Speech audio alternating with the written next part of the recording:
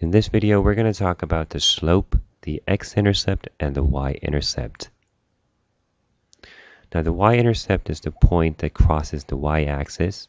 X-intercept is the point that crosses the x-axis.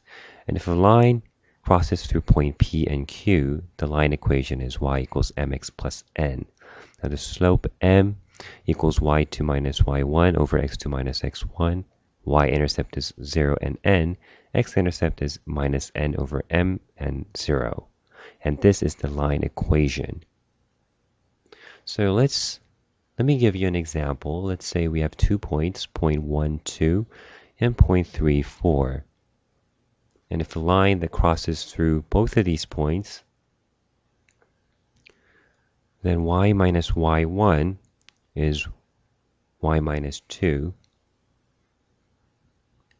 is x2 minus x1 and y2 minus y1 times x minus x1, which is x minus 1. So we get 2 over 2 times x minus 1. So we get x minus 1. So y equals x minus 1 plus 2. So finally we get x plus 1.